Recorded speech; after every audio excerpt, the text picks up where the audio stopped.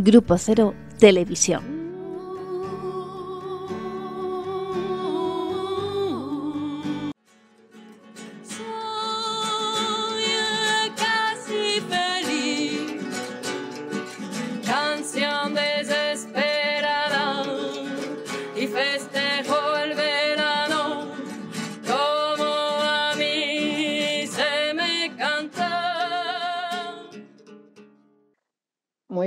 Buenas. Hola, ¿qué tal? ¿Cómo estamos hoy? y todas. En ese tiempo presente. Buenas. Buenas. Presentes. En ese tiempo presente. Un programa más. Estamos, un programa más, sí. Que todavía futuro. Queremos, todavía queremos conversar. Sí. ¿De qué podemos hablar? Y bueno. Oh. ¿De qué podemos hablar? Ah, eso es un tango, dice. Sin corazón. claro. De la música. Del tango. Así, ¿de qué podemos hablar? Qué bonito espectáculo, ¿eh? Muy bien. ¿Cuál? El, bueno, el sábado por la tarde. Ah, estuviste bien. Sábado Grupo Cero. Arte y Cultura Grupo Cero. Qué contenta estaba la gente con el regreso, ¿no? Con la del rey. Claro, da mucha alegría. La temporada, sí, todos, claro. Mm. Es una energía, ¿no? Una pasión ahí que se nota. Ah, ¿se notaba la pasión? Sí. Generalmente no se nota, ¿no? Se quedó con, coagulada la imagen. Levanta la cabeza, Norma, levanta la cabeza. Pero ya la tengo levantada, pero se quedó fija la imagen. Vamos, eh, ahí está, ahí está, ahí volvió.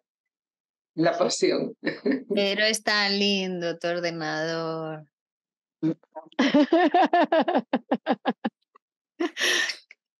Ah, eh, claro. La verdad que la cultura, los actos culturales, lo que producen ¿no? en, el, en, el espectador. Mm. Algunos se desmayan. Ah, Algunos se desmayan. Muy cuando ven a la marquesa del tango. Se desmayan. Ah. Bueno, pues nos decía al ángel de, de la, faldita. Yo me desmayé, pero disimulé. Ay, ay, ay, la elegancia de Clemence eh, La verdad que eh, trabajar para la cultura es algo muy bonito, ¿no? Muy bonito. Digo, tanto para el programa de poesía más poesía que hacemos, de, de todo ese trabajo ahí que vamos haciendo, que hoy leí los poemas ahí rápido de que nos había mandado, que nos ha mandado Norma, para el programa de María. ¡Wow! Es fabuloso, es fabuloso. ¿Te gustó? Wow, claro. Bueno, lo vemos dentro, ¿no? El programa será para mañana, pero de poesía más poesía, pero sí, claro, sentí que digo, qué bien, qué bien, mira todo lo que me dice este tipo.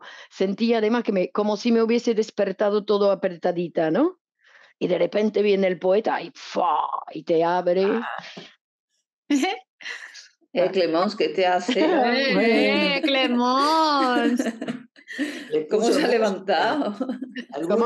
Algunos poemas tienen música.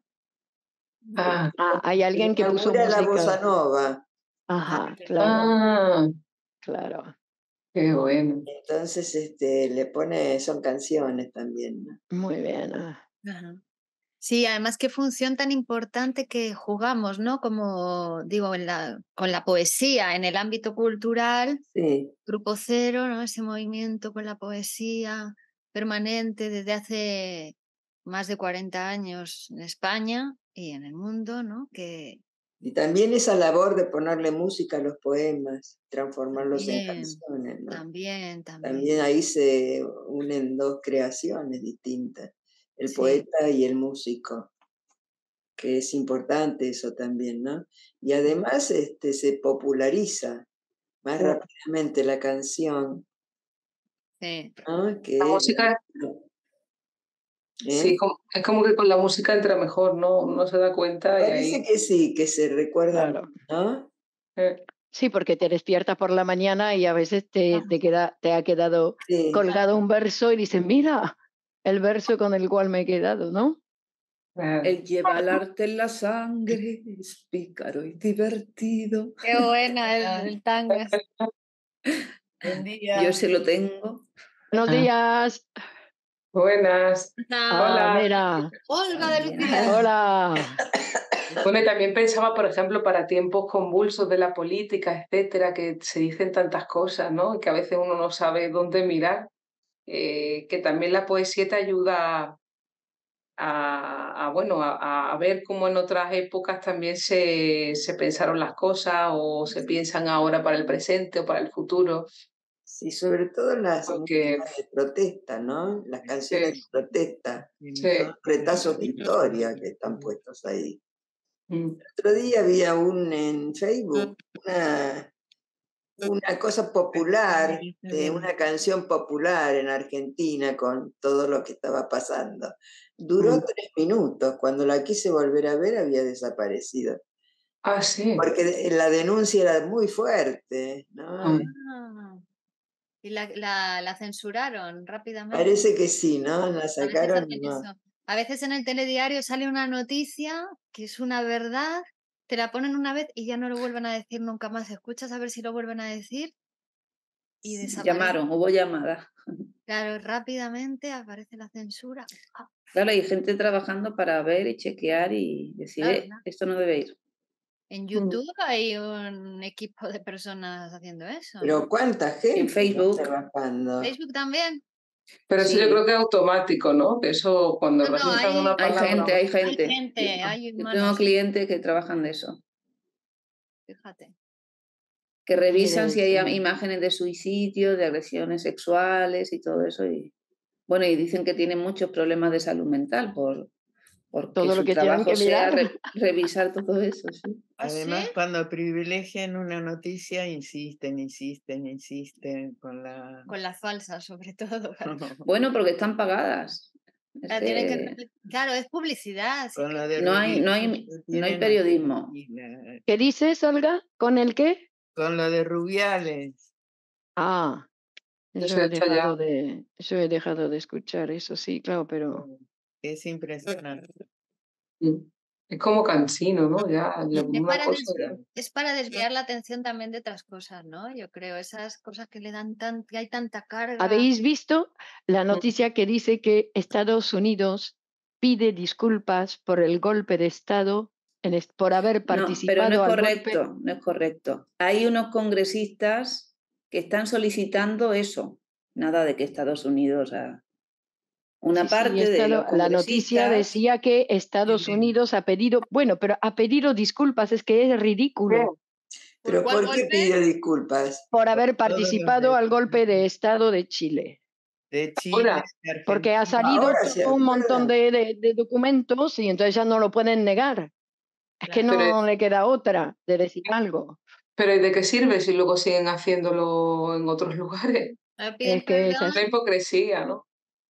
Vamos a ver, la presidenta de la- del Banco Europeo hacía referencia a las bombas de Nagasaki y Hiroshima y culpaba a Rusia de Ah. utilizar armas nucleares. Son bombas que puso Estados Unidos. Mm. Es la única que ha tirado por ahora la bomba atómica, Y hablaba de Rusia. Sí. Entonces es que manipulan todo. es una Sí, proyección. sí, la corriente de opinión es nefasta. Claro. Es muy de- difícil hablar con la mayoría de las personas porque están llevados por la corriente de opinión, por toda esa reiteración y esa alteración de la verdad. Es muy difícil hablar. No te dejan hablar, empiezan blu, blu, blu, y te sueltan todo, toda la mentira. la. ¿Y qué te vas a poner? ¿A gastar energía justificando Ya. históricamente las cosas? Bueno, hay que decir que el otro día yo escuché a Elena que estuvo genial, ¿no? Que hay el portero de casa, que claro, cuando salió lo del pico, él empezó a decir cómo hacen tanto ruido por un pequeño pi- mm, pito Pico. o pico de, de entusiasmo, de entusiasmo ahí, eh, de haber besado a una lesbiana. Además dice, ¿no? Ah, El tipo, sí, qué sé yo. Y entonces Elena dice, sí, tiene razón. Yo cuando seré la directora, pasaré delante del equipo y tocaré el pito a todos. y se cayó. Ahí, se quedó. Súper bien eso. Bueno, pero no dije directora. Si yo fuera presidenta, saludaría a todos tocándole las pelotas. El pito, dijiste, el, pito. Pero él se quedó. No, ni pelotas ni nada, pito. En los partidos. Claro, queda mejor si el pito. Más Pero estuvo ahí súper bien. Pero claro, eso es una, eh, un instrumento, poder burlarse ¿no? de la posición del otro. Claro, sí, porque si no, ellas están en su, en su dinámica. Eh, Como Yolanda Díaz, que dice, este fin de semana no sé si voy a ir al cine o a la peluquería. Entonces, claro, se burlan ahí como para, ¿no? Que eso es una... Bueno, porque, porque guerra y, y González tendría que meterse la lengua en el culo porque para limpiar un poco, para limpiar un poco. Para limpiar un poco. Ay, qué genital que estás, Elena. Ay, pero que son muy malos. Son muy malos. Pero ¿cómo pueden salir dos exdirigentes socialistas a criticar al presidente socialista por pactar para... Y están protegiendo sus intereses y además son muy envidiosos, que ellos ya no cortan ni son nada, delincuentes, son delincuentes. delincuentes. Fueron delincuentes. Hay una lista de cosas que hicieron y que no han pagado por ellos y además han hecho pagar a otros. Y como recordaba el, expresidente Zapatero, Rodríguez Zapatero, el presidente actual de España no tiene ningún delito, no tiene, es una persona limpia. claro. Cuando los otros presidentes que ha habido son corruptos. Porque, porque Rajoy se ha ido rajando y no lo han querido revisar, pero estaba también enjuiciado. Entonces hay corrupción, ya sabemos que hay corrupción. Y este no, le pueden sacar nada, no le pueden sacar la nada. giratoria, Sánchez hizo la puerta giratoria, privatizó Telefónica, no sé qué, y se fue a González, González. González, sí. Claro. entonces, claro. Pero habéis visto, sin hablar ahí del presente, lo que está pasando en Grecia. ¿Tenéis la noticia? que en Grecia han subido el, el gobierno que acaba de, de, salir, que es de ultraderecha, ha cambiado a 78 horas de trabajo a la semana y los, eh, los eh, griegos tienen que trabajar seis días sobre siete. No es una broma, ¿eh? No es una broma. Está saliendo, están saliendo a la calle Dice, para regreso a la esclavitud y dicen regreso a la esclavitud, 78 horas a la semana. Pero con 40 horas semanales son, ¿no? Entonces, ¿pero cuántas horas trabajan? pero si de 40 a 78 van 38. bueno, que trabajan 13 o 14 horas al día. ¿Te acuerdas ahí lo que nos explicaba ahí Max cuando describe ahí las condiciones de trabajo? Pues ahí 13 horas, ¿no? Será el día. ¿La Unión Europea que hayan hecho esa, esa, transformación tan radical? Bueno, la comunidad europea va a dejar los países en un estado. Mm. Pues qué diferencia con respecto a España.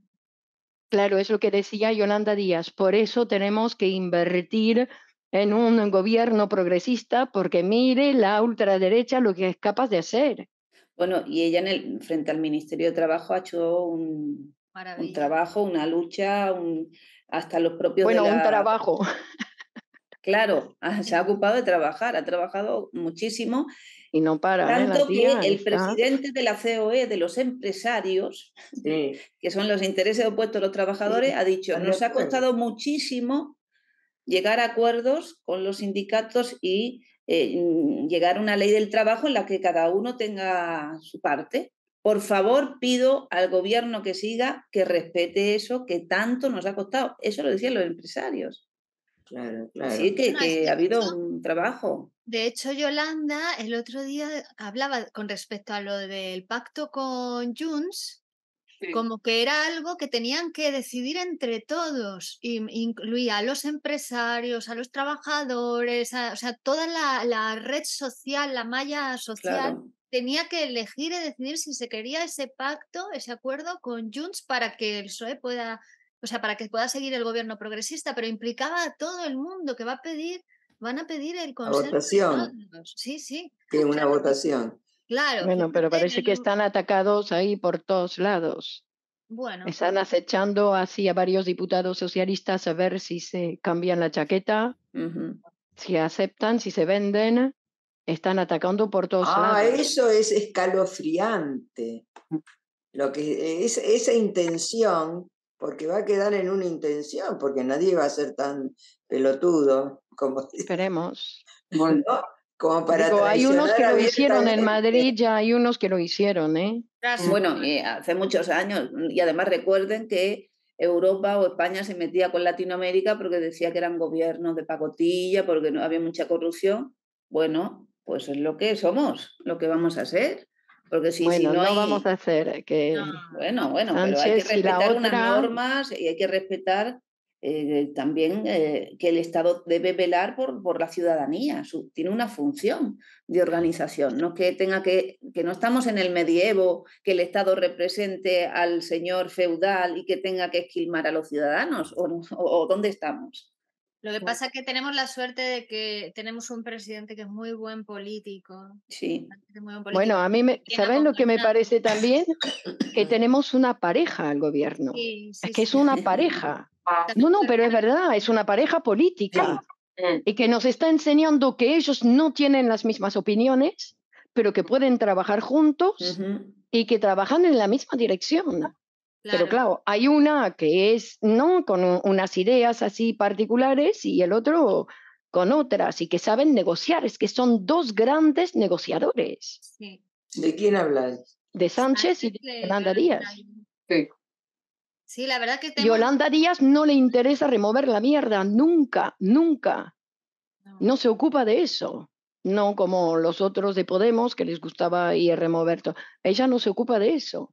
No, pues, tiene muy claro lo que quiere lo que, y Sánchez Y a lo que trabaja, ¿no? muy Mm. claro para quién trabajan, qué es lo que quieren y ya está. Y lo demás, como que lo van toreando, van... Son muy buenos, la verdad. Muy Que buenos. dice The Guardian, el periódico e- inglés, está felicitando cada tanto, pone un artículo de Sánchez para decir el mejor político europeo. Sí, Ah. desde luego. Menasa lo dijo, ¿no? Ya, el mejor presidente que ha tenido España, nunca. Bueno, que es difícil eh, armar mm, todas las diferencias que hay en España y los diferentes sistemas políticos, que ya el punto en el que, lle- que llegó el 15M es porque había una dificultad muy grande de poner a una a las diferentes ideologías. Sí. Y, Y claro, que alguien lo haya conseguido, ese progresismo, ¿no? Todas las fuerzas que quieren mm, ir para adelante, no para detrás. Oye, habéis Sobre visto las todo en esos tiempos ahí de, de- de ca- catastrofistas, ¿no? Digo Bueno, que... por eso ah, es interesante lo que has dicho, no catastróficos, sino catastrofistas. Porque siguen pasando cosas buenas, sigue habiendo progreso. Eh, en estos días, en la cumbre de, de la ONU, Bueno, en hubo York, discursos, la mayoría de los discursos fueron en contra de la ONU, claro, en contra de la ONU. el presidente cubano en las calles de Nueva York, recibido por, por otros cubanos, gritando Cuba sí, bloqueo no, ahí con un micrófono.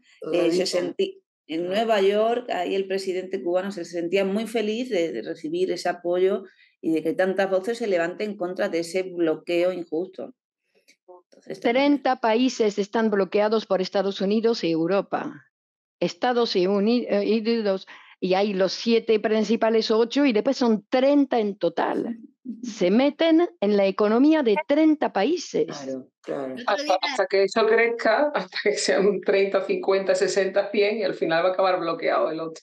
Había un vídeo súper interesante eh, rodando por las redes sociales de una, una joven africana, no sé si lo visteis, eh, estudiante de, economi- de economía, eh, bueno, era ya eh, como que muy destacada estudiante de economía que decía que había estudiado eso porque eh, por la explotación que hacen en los, Europa y Estados Unidos de África, ¿no?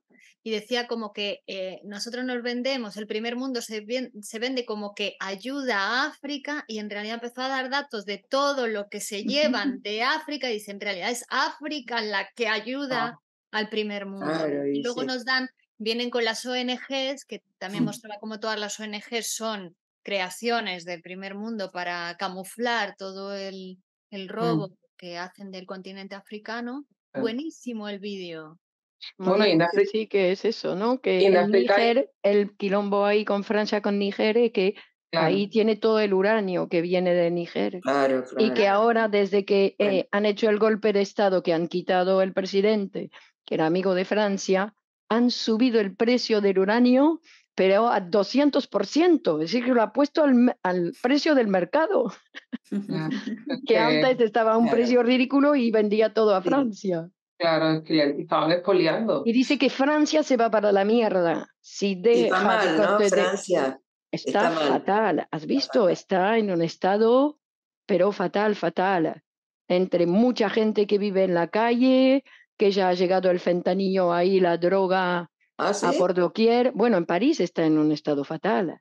Está fatal, entre que está sucio, ¿eh? abandonado, y, y, después hacen lo mismo, no mm, porque hubo ese acontecimiento que Carlos III fue a ver a, eso lo habréis visto, porque, oh, oh. que ha, ha ido a, a, a, hacer una visita a Francia y claro, entran en Versalles. Entonces preparan una comida para 120 personas con una mesa de 60 metros, todo lujo, toda comida lujo. ¿Sabes cómo pasó con Luis XIV? Digo que tenía la abundancia dentro del castillo y la pobreza y la hombruna afuera. Pues estamos en lo mismo. Vuelven a repetir y el otro que va a saludar al rey ahí como que se hace creer que es el rey porque está saludando a un rey. y el, Carlos III ha hecho un chiste porque parece... ¿Quién es, Carlos el, III? El antiguo príncipe ¿no? El que acaba de conseguir el trono por la muerte de la madre. Claro. Inglaterra, el de... Y entonces el tipo ha hecho, porque parece que le, en la aduana, porque ahora hay una aduana entre Inglaterra y Francia, le han bloqueado una caja de botellas de vinos que quería regalar a Francia, que no pudieron pasar. Y entonces el tipo dice, bueno, ya sabemos, Francia tiene vino, eh, Inglaterra tiene humor. Estaba buena esa. Estaba buena, así que no, pero es una catástrofe. En Francia es una catástrofe. Pero bueno, aquí también hay cosas así también, pero por suerte tenemos esperanza en España. En Francia no hay esperanza. Ah, no me digas.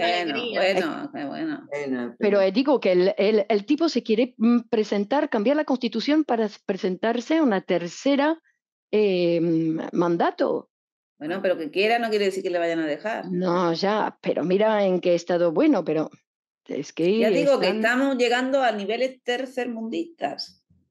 Es que cuando en Francia sube un presidente se cree en Napoleón, ¿eh? Seguir en, la, en, papel de este, este está clarísimo.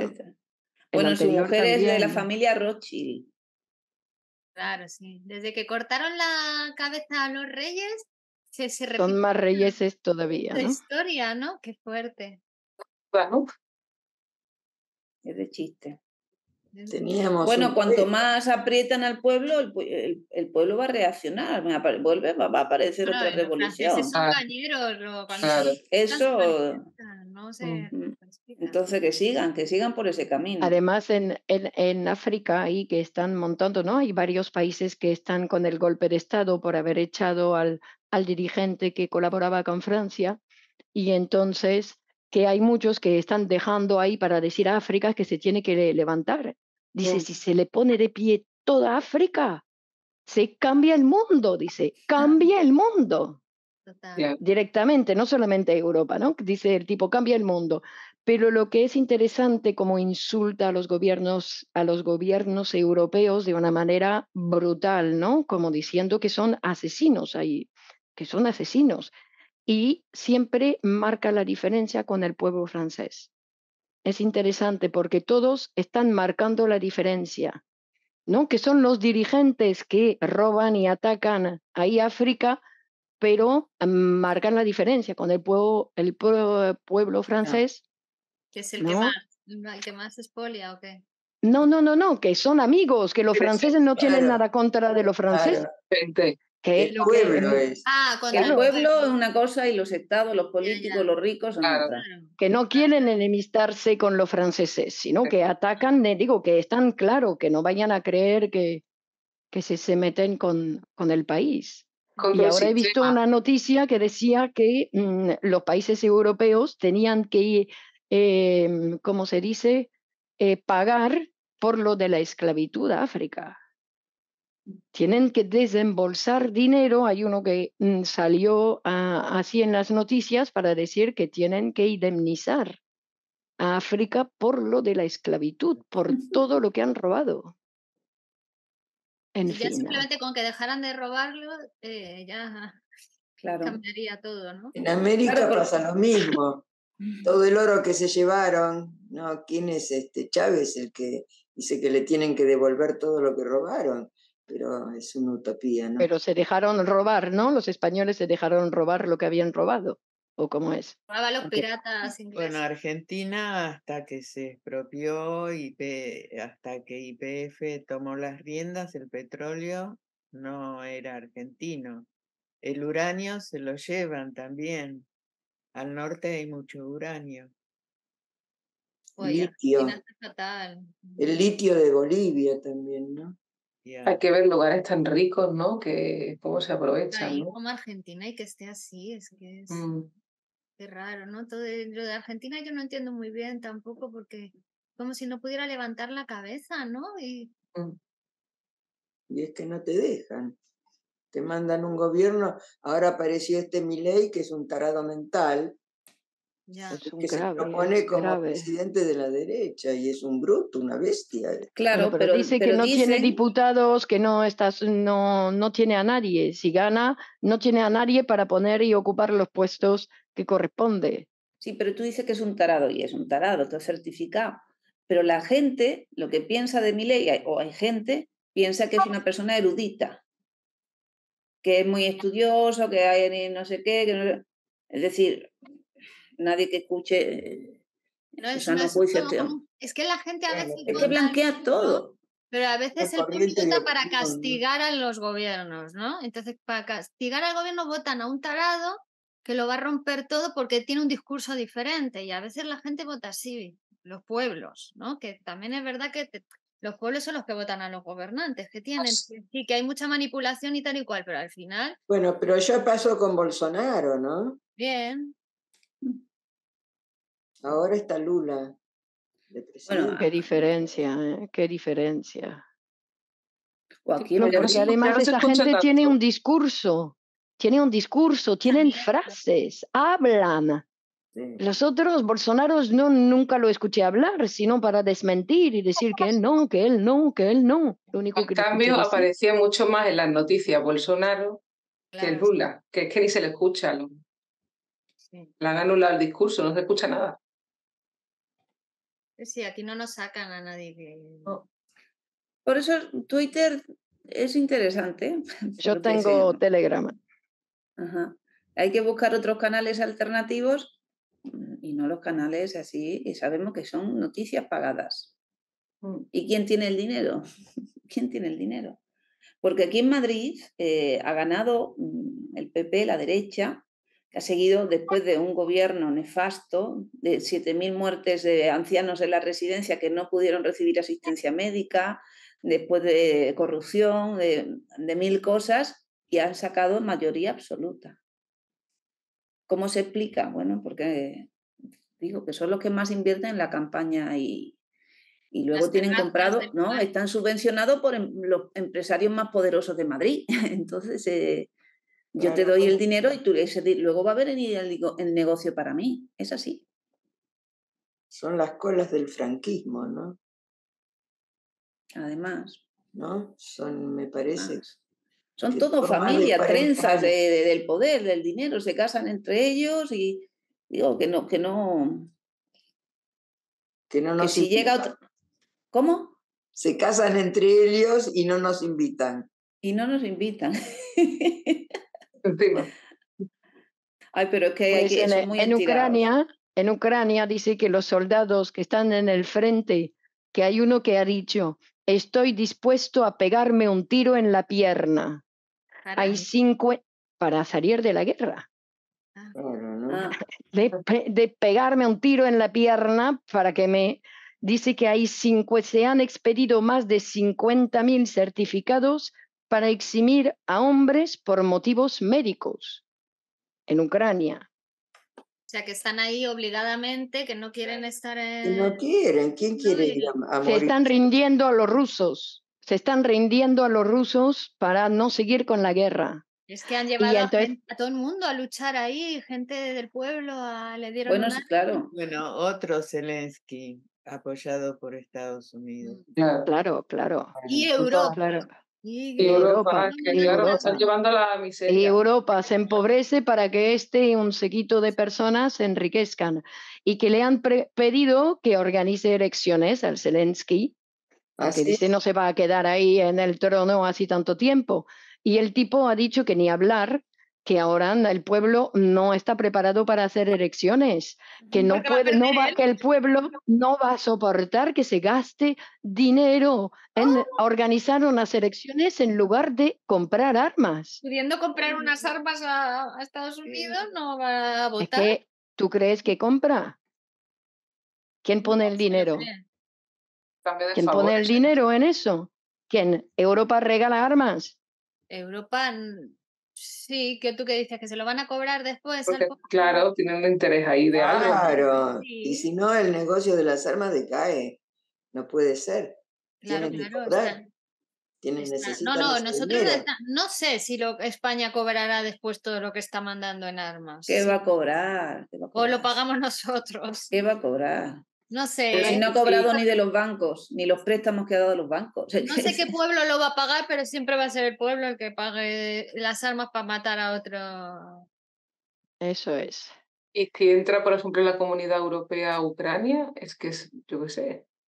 Bueno, pero eso lo hacen para, para amenazar, ¿no? No sé si se puede.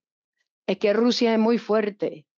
Rusia dice que ya ha recuperado su economía, que está muy bien y que además está asociando y haciendo nuevas relaciones con poderes, con países muy fuertes. Más poderoso que Europa, China, con La India, ¿no? Que ahora La incluso India. ha mandado un, Pakistán, la India. nave, ¿no? Al- China, ¿no? También. Pakistán están India. ahí con Pakistán, Venezuela, es que están con muchos... Con el resto del mundo, que no es Estados Unidos y Europa. Es que hay más mundo. Bueno, han sonado las campanadas de la De iglesia. acuerdo. Ay, sí. qué beato suena eso. Quiere decir que nos tenemos que ir a otra cosa, mariposa. Eso es. Que la Eso programación de Grupo Cero Televisión sigue y que además hay que estudiar, hay que amar, hay que trabajar para que todo funcione.